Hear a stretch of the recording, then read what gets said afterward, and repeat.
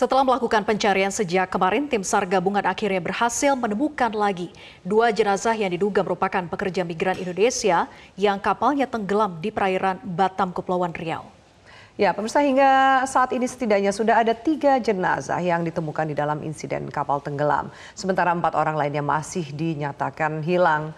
Tim SAR gabungan yang terdiri dari Basarnas, Polair, TNI Angkatan Laut, Bakamla, KPLP, serta para nelayan menemukan dua jenazah yang diduga merupakan pekerja migran. Jenazah pertama ditemukan di Pulau Kasam pada Kamis pagi. Jenazah berjenis kelamin perempuan dewasa.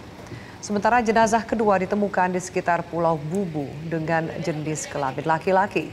Kedua jenazah dibawa ke Rumah Sakit Bayangkara di Kota Batam. Menurut Kasih Optasi Basarnas Tanjung Pinang Ahmad Effendi Purba, hingga saat ini sudah ada tiga jenazah yang berhasil ditemukan. Masih ada empat orang lagi yang masih dalam proses pencarian dan satu orang lainnya selamat. Sebelumnya kapal kayu yang membawa pekerja migran Indonesia dari Batam tujuan Malaysia tenggelam di sekitar perairan Kabil kota Batam akibat dihantam badai. Penumpang terdiri dari tiga penumpang perempuan dewasa, empat penumpang laki-laki, dan satu orang anak.